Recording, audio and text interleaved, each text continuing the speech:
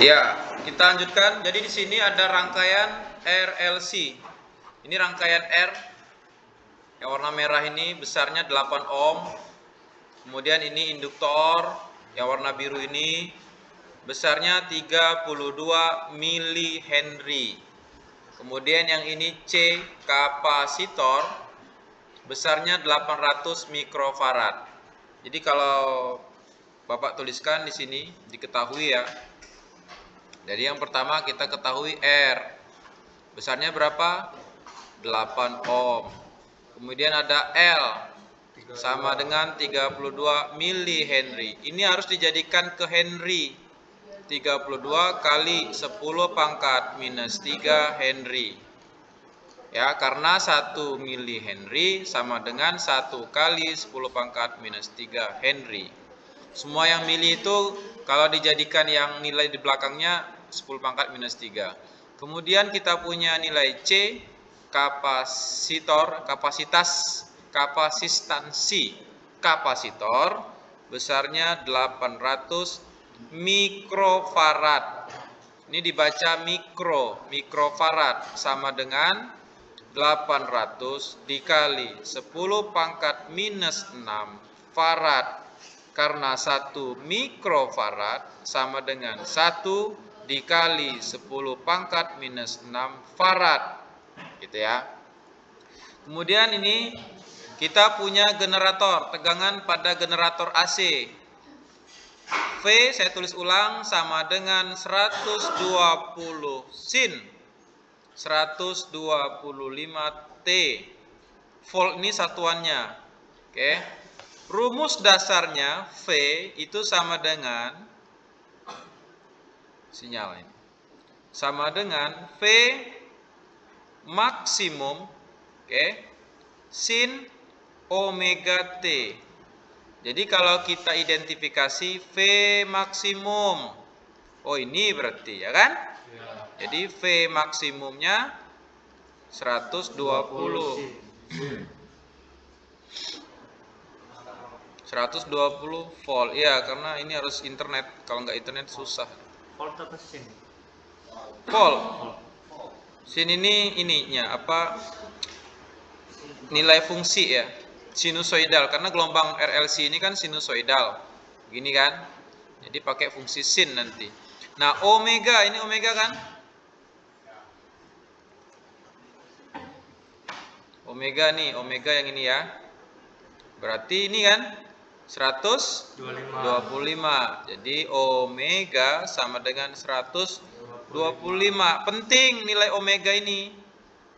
Ya, nilai omega ini penting. Ingat tadi omega sama dengan 2 VF sama dengan omeganya 125 2 VF. Maka nilai F-nya sama dengan 125 per 2V. Oke. Ini kita sengaja Bapak lanjut-lanjut ini latihan kalian aljabar ya. Ngerti kan ini F dari mana? Kok bisa 125 per 2V? Oke ya, ingat jangan ini. Dah. Selanjutnya ingat tadi kita sudah belajar ada R, ada XL.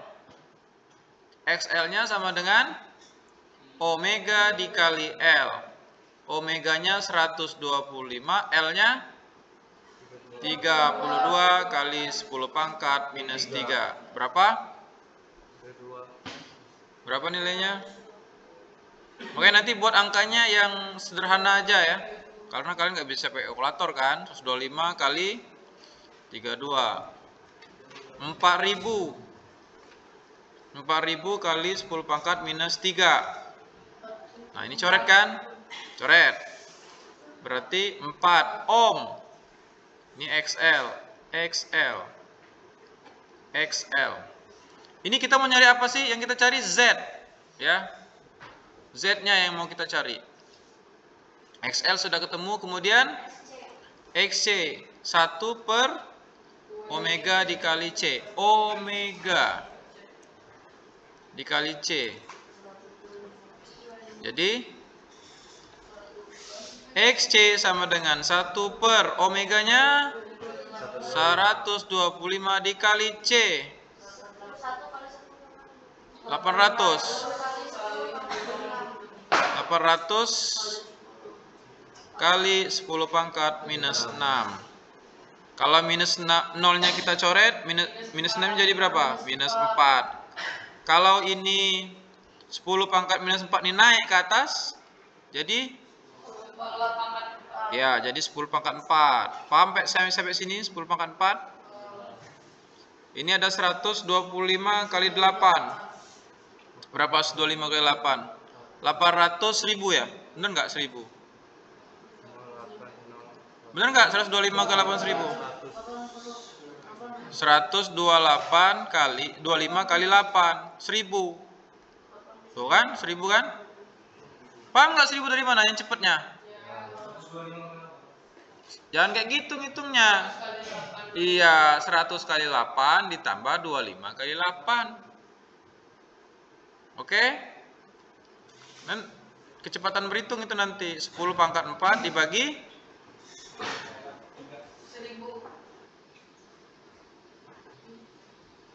Ya, sinyal. 1000. Jadi XC 10 ohm.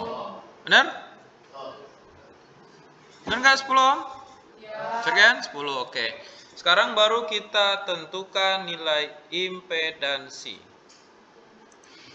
Z-nya. Masih terlihat kan? Masih kelihatan ya? Oke. Agak kecil di sini. Ini agak agak ini nih apa? Jadi nilai Z sama dengan akar R kuadrat, kuadrat ditambah XL minus XC dikuadratkan. Z sama dengan akar R-nya berapa? 8 ditambah XL-nya berapa? 10 minus XC-nya berapa? 10 salah ya? Oh, keliru nih berarti. XL 4 minus 10 di jadi nilai Z sama dengan akar dari 8 ditambah minus 6 kuadrat. Eh, ini kuadrat ya, maaf, kuadrat. Jadi Z sama dengan akar dari 8 kuadrat 60. Minus 6 dikuadratkan. Jadi Z sama dengan akar 100 sama dengan 10 ohm. Inilah nilai impedansinya 10 ohm.